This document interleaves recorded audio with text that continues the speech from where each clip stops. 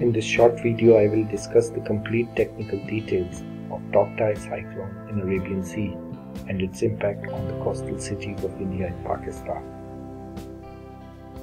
First of all, we need to understand how the weather forecast models work.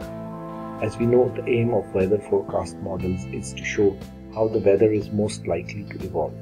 These models use weather data for the last couple of days and run numerical simulations on irregularly spaced grid nodes forecast weather parameters such as temperature, humidity, precipitation, wind speed, and direction.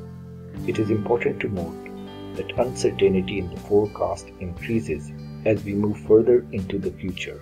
This means that the forecast for the first week will be more reliable as compared to that for the second week.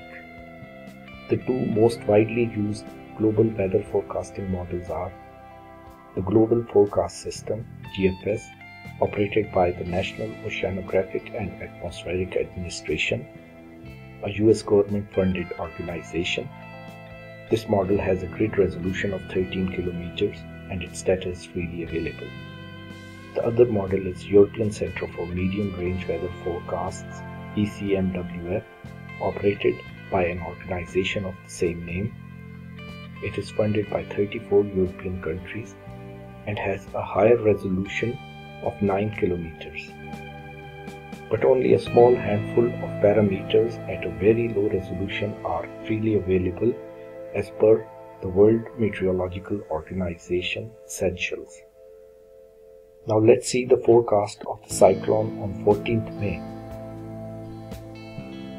According to the GFS model, this would be the track of the cyclone.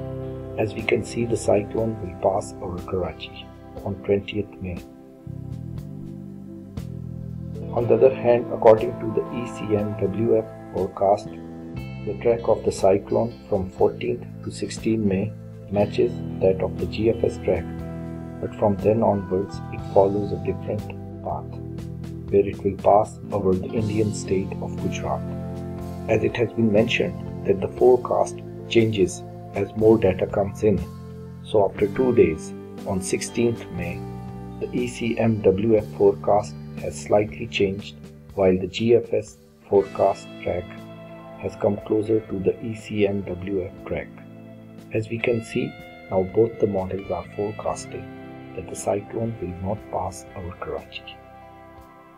Now let's see the forecasted parameters on 18th May 4 pm when the cyclone will be closest to Karachi. As we can see, the wind speed will be 8 nautical miles, while the wind gust speed will be 20 nautical miles, and the temperature will be 33 degrees centigrade, and there will be no rain,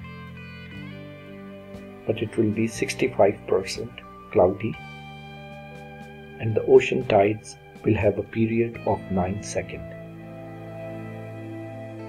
It is important to note that the cyclone wind speed is greater than 40 nautical miles, but as it enters over the Indian state of Gujarat, the wind speed will reduce to below 40 nautical miles. There will be winds and rain, but we hope that everything will be in safer limits.